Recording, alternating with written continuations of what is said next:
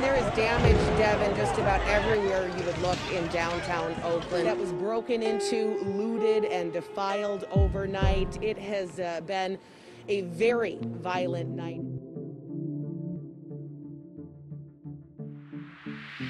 So we saw our city boarded up. Um, and we saw that as an opportunity to bring art and to bring our message out to the street. Even the nights of the protests, people are using spray paint all over everything to write the messages all over the city.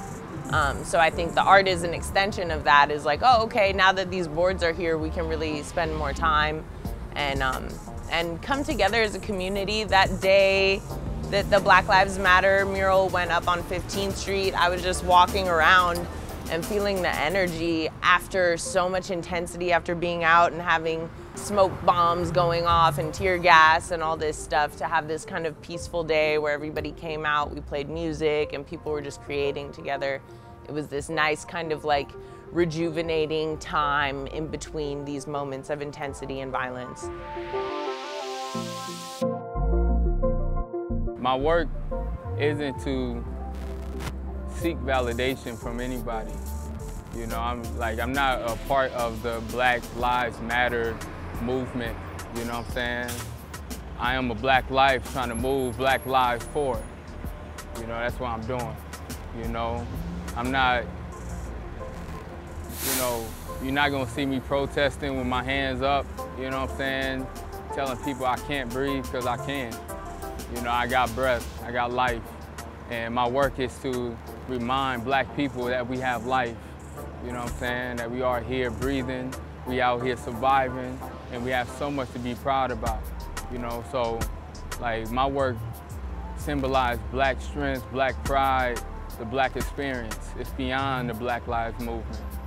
You know, because this is going to be the movement once the Black Lives Movement died. You know what I'm saying? So, yeah. I think that the idea of taking public space and reclaiming public space really to spread messages of empowerment and black liberation is uh, really beautiful. Um, however, I am very weary of the fact that um, a lot of artists have viewed this as an opportunity to take up space, um, especially white artists, which is kind of something that happens outside of this issue, um, you know, this particular moment in general. Um, and so it's really important that black people are taking up black space and tell black stories.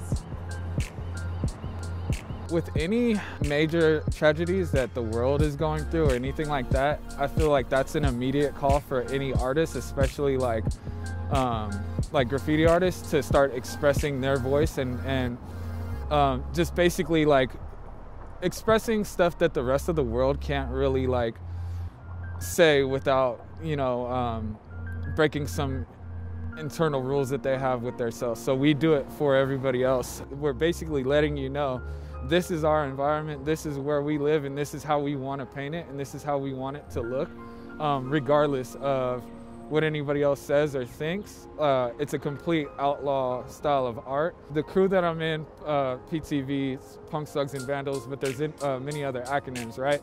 So one is Police Teach Violence, um, and then another one is uh, Protect the Voiceless. And so that goes with exactly like what I was saying before is that we will be the voice for people that don't have a voice. And now, that the people have come out and organized at some degree of resistance to the white power state, we have created and seized more space. That would have been hard to do three years ago. This language would not have been used.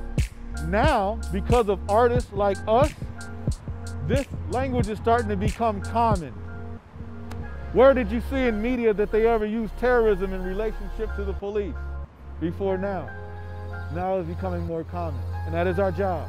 We have to transform the visual landscape, the language, and the thinking and the culture of the masses. It has been done before, it will be done again until we're free.